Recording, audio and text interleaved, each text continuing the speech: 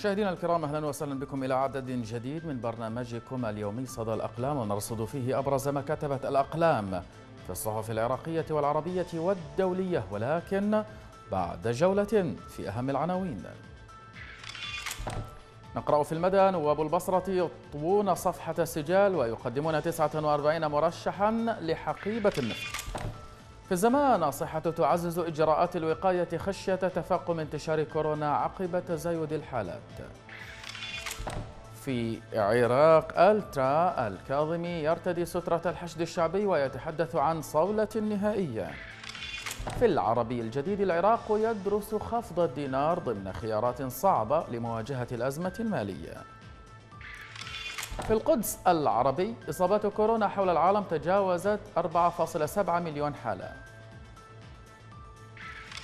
في عربي 21 تحذير أمريكي للجنائية الدولية من المضي بمقاضاة إسرائيل. وأخيرا من العرب اللندنية وفيها أوباما ينتقد تعاطي إدارة ترامب مع أزمة كورونا في هجوم حاد.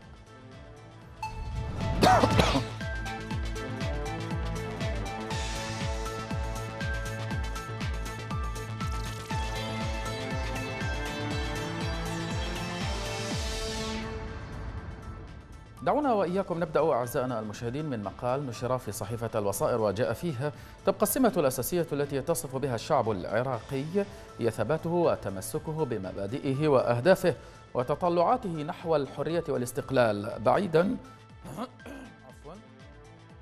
بعيدا عن الخضوع والخنوع والسكون والظلم والعبودية ورفض جميع أشكال ومشاريع الاحتلال التصفوية والفئوية الضيقة. الشعب متمسك بثورة تشرين مقال الكاتب إياد العناز. نتابع وإياكم جزءا منه الآن لم تدرك الأحزاب العاشقة للعملية السياسية في العراق التلاحم الشعبي والإطار الفكري والتمسك الثوري والاحتضان الاجتماعي والنسيج المتفاعل مع ثورة تشرين المباركة لأنها لم تستطع أن تكون جزءا من حيوية وتاريخ الشعب.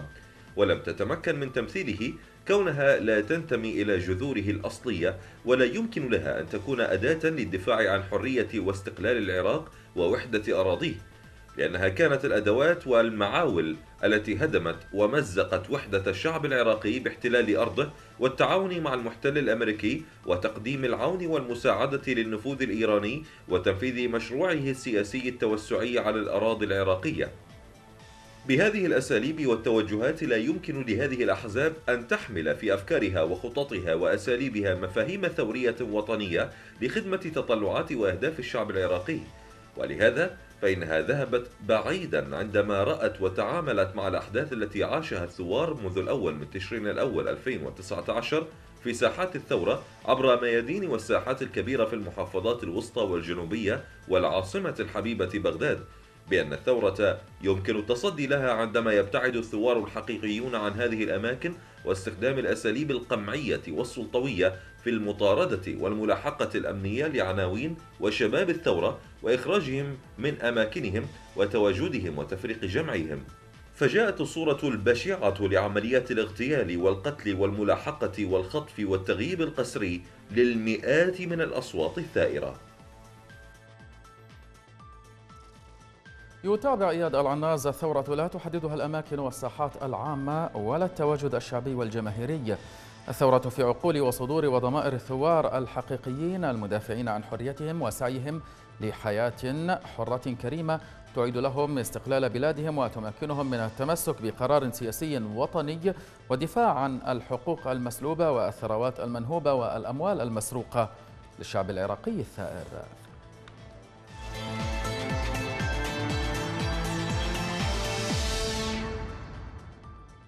إلى ألترا عراق وفيها مقال للكاتب وليد زياد أو زياد وليد يقول فيه عراق أو العراق لا يلوم إيران على ما تفعله مثل أي دولة تهيمن في إقليم ما كما أن الولايات المتحدة الأمريكية غير مدعوة للتفكير بالاستنزاف الاقتصادي العراقي ومصير أجيالنا اللاحقة. والدولتان يقصد الولايات المتحدة الأمريكية من جهة وإيران من جهة أخرى يقول الدولتان تمارسان الفعل الطبيعي للسياسة. أما غير الطبيعي هو ما يفعله سياسي العراق فكلمة تنازل هي مفتاح التسوية أو مكسب مقابل. إلا في العراق فهي تعني تسوية بين دولتين خارجتين عن الأرض. المزيد في هذه المادة. انتهى فصل حكومة عادل عبد المهدي بعد سبعة أشهر دامية. لم تكن التظاهرات الحاشدة والقمع والاغتيالات والخطف هي المشاهد السائدة فيها فقط بل تخللها الحاضر الدائم. الصراع الخارجي على الأراضي العراقية منذ ضرب القاعدة العسكرية الأمريكية في كركوك ثم الرد على ثكنات كتائب حزب الله في الحدود العراقية السورية ثم محاصرة سفارة واشنطن في بغداد واغتيال سليماني والمهندس وقصف إيران لقاعدة عين الأسد في الأنبار. ناهيك عن محاولات استهداف السفارة بالصواريخ قبل هذه الأحداث وبعدها. نعم هي تظاهرات شعبية خالصة لكنها بحكم الواقع السياسي العراقي أشعلت الاضطراب في توتر كان مستقرا بين الولايات المتحدة وإيران وخلقت توترا غير مستقر عبر الاستهداف المباشر للأرواح خلافا للتحرشات السابقة. وإذ تحدثنا في مقالتين سابقتين عن طبيعة هذا الصراع ومتغيراته ولأثره على الوضع الداخلي شعبيا وسياسيا لابد من تسليط الضوء على إحدى مفاصله. تكون المعادلة على شكل المثلث التالي.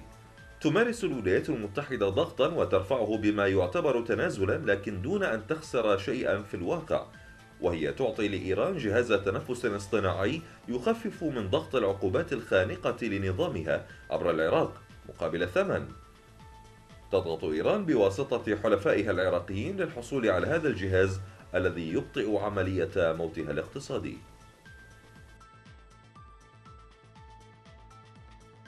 يتابع الكاتب لا يفكر هؤلاء الهواة في المنطقة الخضراء بتطوير البنى التحتية وزيادة الاعتماد الذاتي حتى مع هبوط أسعار النفط وتداعيات فيروس كورونا وتداعياتهما على رواتب الموظفين والعجز الهائل في الموازنة المالية وهو ما يهدد سلطتهم ذاتيا. إلى مقال جديد.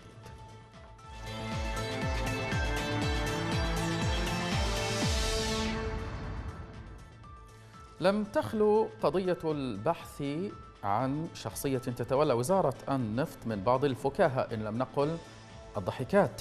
ومن هذه المضحكات خرج به مجلس محافظة البصرة وهو يبشرنا بأن عدد المرشحين لشغل حقيبة النفط تسعة وأربعون مرشحا فقط وأنهم بانتظار أن تصبح القائمة ذهبية من خمسين مرشحا. مقال الكاتب علي حسين في صحيفة المدى المزيد في سياق هذه المادة. لا أحد منا يشكك في حب السادة النواب للعراق لكن ما يسترعي الانتباه أن حب الوطن انتقل من شعارات الإصلاح ونصوص الشفافية والنزاهة إلى معركة على المناصب ليصبح التعبير عن هذا الحب غوصا في كرسي المنصب ويتحول الوطن وفقا لمعركة تنصيب وزير إلى إعلان عن مزاد لمن يستطيع أن يفرض مرشحه ولو بإرادة من خارج الحدود. لأننا نعيش زمن العجائب. فقد أصبحت قضية منصب وزير النفط الأبرز لتتحول من مجرد خبر ينبغي أن يوضع بدون عنوان في صفحة داخلية إلى قضية تشغل الفضائيات. فهي اليوم القضية الأبرز. ولن نستغرب إذا ما طلب السادة الذين يسعون إلى المنصب بأن تتدخل الأمم المتحدة لكي تمنحهم الحق بالاحتفاظ بكرسي المنصب أو يذهب بهم الخيال بعيدا. فيطلبون نجدة حلف الناتو ليخلصهم من هذا الشعب الناكر الجميل الذي يرفض الخروج في مسيرات تهتف بحياة أعضاء مجلس النواب. يقول الكاتب لا أريد من مسؤولين الأكارم أن يمضوا أعمارهم في مخيمات للنازحين. كل ما أريده وأتمناه أن أشاهد مسؤولا يختنق بالعبرات وهو يخرج من خيمة عائلة نازحة. لا أن يجلس في الفضائيات ويمارس دوره بتهديد الجميع فحسب.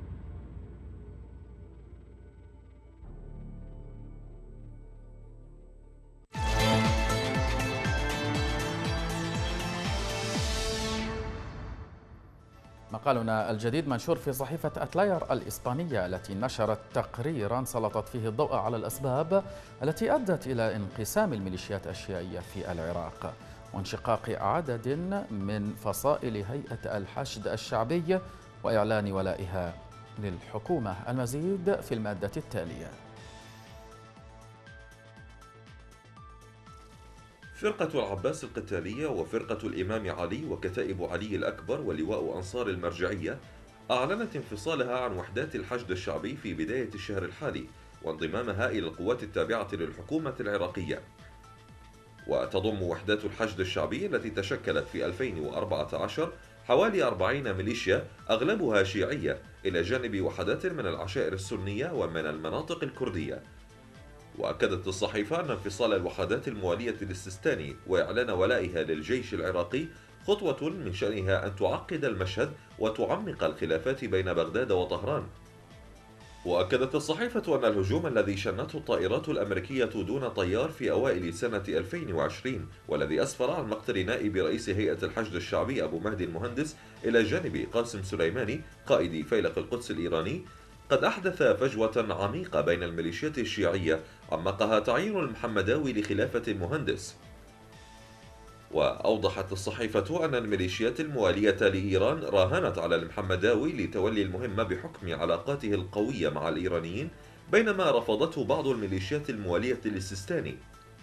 وأكدت الصحيفة أن التوتر بين السيستان وإيران حول قوات الحشد الشعبي وصل إلى ذروته في تشرين الأول أكتوبر الماضي عندما وجهت اتهامات مباشرة لقادة الحشد بتنفيذ حملة قمع وحشية استهدفت المتظاهرين المناهضين للحكومة.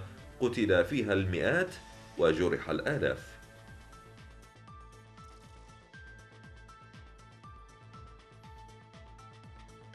ورجحت الصحيفة أن عدد القوات المنشقة عن هيئة الحشد الشعبي سيزيد خلال الفترة المقبلة بعد انفصال الفصائل الأربعة الموالية للسيستاني. التي يقدر تعدادها باثني عشر ألف مقاتل.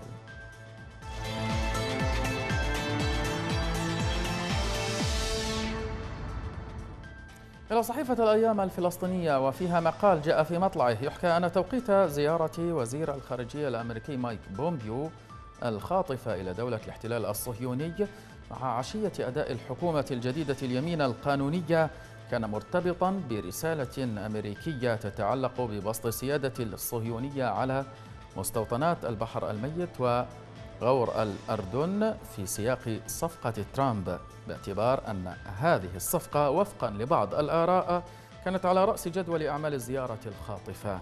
مقال الكاتب هاني حبيب نتابع جزءا منه. إدارة ترامب تدرس بالفعل احتواء التداعيات المحتملة لإعلان السيادة خاصة مع الجانب الفلسطيني والعربي وكذلك مع الاتحاد الأوروبي. هذا الأخير أجل قراره النهائي عدة أيام مع احتمالات أن ذلك تم بضغط أمريكي إسرائيلي.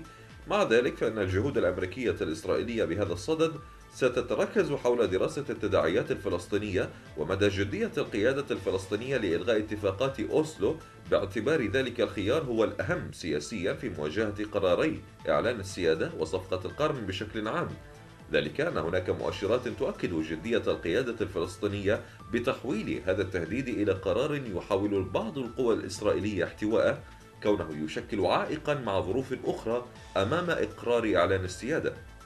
واقع الأمر أن هناك تفاهمات أمريكية إسرائيلية بهذا الشأن لا تجعل من زيارة بومبيو الخاطفة تتركز على قرار إعلان السيادة وفي تقديرنا أن توقيت هذه الزيارة لم يكن مرتبطا أساسا بتشكيل الحكومة الإسرائيلية بقدر ما هو أشد ارتباطا مع الحرب المفتوحة والمعلنة من قبل إدارة ترامب على الصين. فقد شكلت إسرائيل ثغرة واضحة في الحرب التجارية التي أعلنها ترامب على الصين فور وصوله إلى البيت الأبيض. واليوم وفي سياق الحرب على الصين على خلفية وباء كورونا فإن إسرائيل لا تزال تشكل مثل هذه الثغرة وذلك نتيجة العلاقات المتطورة نسبيا بين دولة الاحتلال والصين. فهذه الأخيرة استثمرت أكثر من 25 مليار دولار في السنوات الماضية في إسرائيل كما سيطرت مجموعة اقتصادية صينية على إحدى أهم شركات التغذية في إسرائيل وهي شركة تنوفا. يتابع هاني حبيب ترحيل ملف إعلان السيادة الفلسطينية من الصيف إلى الخريف. يوفر المزيد من الوقت لدراسة التداعيات المحتملة لمثل هذا الإعلان واحتوائها بالقدر الكافي كي لا تشكل المخاطر غير المرغوبة.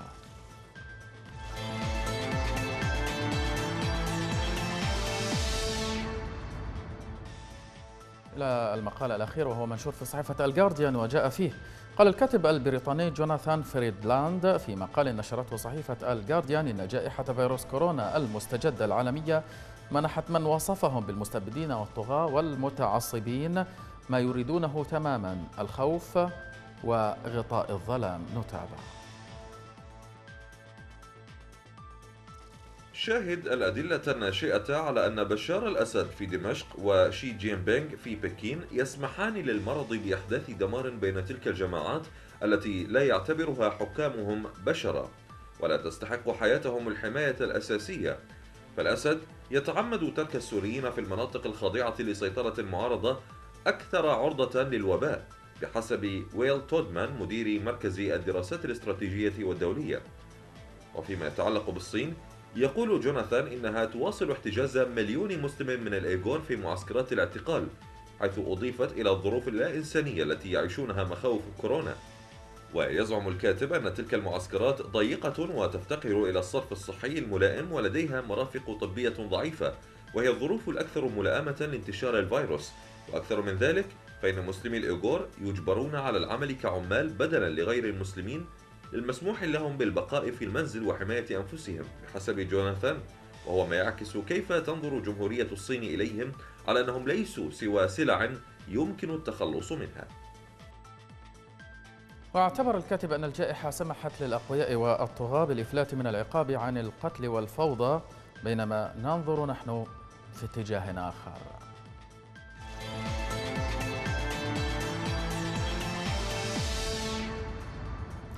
تعمل العديد من المؤسسات حاليا على وضع توصيات خاصة تتعلق بالحيوانات الأليفة وبالأخص حال تعرضها أو تعرض مقتنيها للإصابة بمرض كوفيد 19 وتؤكد مديرة برنامج الطب الوقائي في جامعة ويسكونسن ماديسون ساندرا نيو نيوبيري أن منظمات رعاية الحيوان تعمل بجد كبير في ظل هذه الأزمة الراهنة.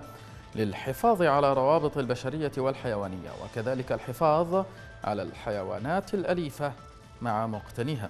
وتضيف بالطبع هو وقت عصيب على الجميع وهو ما يجعل الناس أكثر حاجة للراحة والدعم من أي وقت مضى وهو ما توفره لهم الحيوانات الأليفة. ومن ثم فإن على مقتني هذه الحيوانات وضعها في الحسبان عند التخطيط والاستعداد لحالات الطوارئ بما في ذلك توفير إمدادات الطعام والأدوية مدة أسبوعين. إلى جانب الاستعداد لتوفير الرعاية اللازمة للحيوان إذا استدعت الحياة وضعه في الحجر الصحي بسبب المرض. كما تقول العميدة المساعدة للشؤون السريرية بذات الجامعة روثان تشاون.